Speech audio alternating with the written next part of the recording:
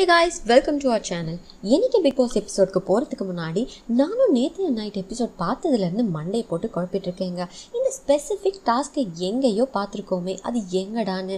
அப்புறம் பார்த்தா நம்ம பிக் பாஸ் ரீசெண்டாக ஹாலிவுட் மூவிஸ் பார்த்துருப்பார் போல். எப்படி நம்ம சினிமா டைரக்டர்ஸ் ஹாலிவுட் மூவிஸை சுட்டு இங்கே படம் எடுக்கிறாங்களோ அது போல் நம்ம பிக் பாஸும் ஹாலிவுட் மூவி கான்செப்டை சுட்டுட்டாரு. அவரும் பாவம் என்ன பண்ணுவார்? சீசன் சீசனாக டாஸ்க்கை யோசிச்சு யோசிச்சு கடைசியாக வேறு வழி இல்லாமல் அவரும் சுட ஆரம்பிச்சிட்டாரு. நான் இவ்வளோ பில்டப் பண்ணி சொன்ன அந்த ஹாலிவுட் மூவி சர்க்கிள் ரெண்டாயிரத்தி பதினஞ்சு மே இருபத்தெட்டில் வெளிவந்த படம். ஒரே ஒரு இருட்டு ரூமில் படத்தையே எடுத்திருக்காங்க. இந்த படத்தில் ஒரு ஒரு செகண்டு கூட ச போர் அடிக்குது அப்படின்னு சொல்லக்கூட நமக்கு வாய் வராது.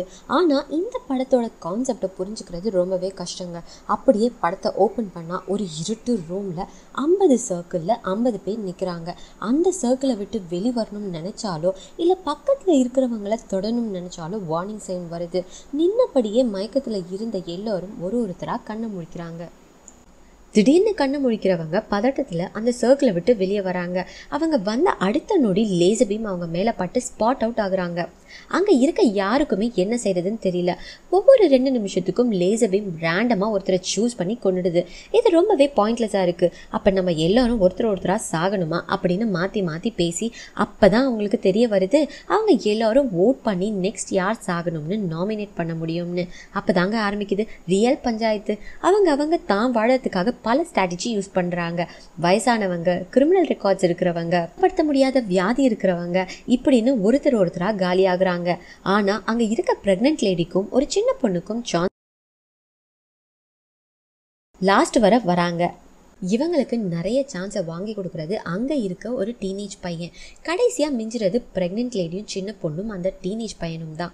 இங்கே தாங்க இருக்கிற ரியல் ட்விஸ்ட் கடைசியாக அந்த பையன் அவங்க ரெண்டு பேர்கிட்டையும் டிசிஷனை விட்டுடுறான். உங்கள் ரெண்டு பேரில் யாராக ஒருத்தர் தான் உயிரோடு இருக்க முடியும். அதை நீங்களே டிசைட் பண்ணுங்கள் அடுத்து சாகிறதுக்கு நான் ரெடின்னு சொல்லிடுறான்.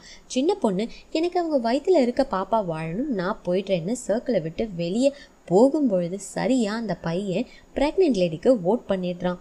அம்பிட்டு தாங்க. ஆல் அவுட் இந்த ஸ்டோரியோட கான்செப்டே the sur the survival of the fittest சாமர்த்தியம் இருக்கிறவங்க வாழலாம். இதே கான்செப்ட் தாங்க பிக் பாஸும் யூஸ் பண்ணியிருக்காரு. பாவம் அவர் எதிர்பார்த்தது என்னவோ? சுரேஷ் எல்லாத்தையும் ஊற்றி மூடிட்டாரு. ப்ரெக்னென்ட் லேடி ரம்யாவை ரிலேட் பண்ணுறாங்க சின்ன பொண்ணு ஆஜிதை ரிலேட் பண்ணுறாங்க இதை பார்க்கும்போது ஒருவேளை பிக் பாஸும் ஸ்கிரிப்டடாக இருக்குமோ? அது என்னமோ நமக்கு கண்டென்ட் கிடைச்சா சரி. இந்த சேனலை இன்னும் சப்ஸ்கிரைப் பண்ணாமல் இருந்தால் மறக்காமல் சப்ஸ்கிரைப் பண்ணிடுங்க. இந்த வீடியோ பற்றின உங்கள் கருத்துக்களை கமெண்ட் பாக்ஸில் சொல்லுங்கள் until then take care bye இந்த வீடியோ உங்களுக்கு பிடிச்சிருந்ததுன்னா லைக் பண்ணுங்கள் கமெண்ட் பண்ணுங்கள் அண்ட் மறக்காமல் உங்கள் ஃப்ரெண்ட்ஸ்க்கு ஷேர் பண்ணுங்கள்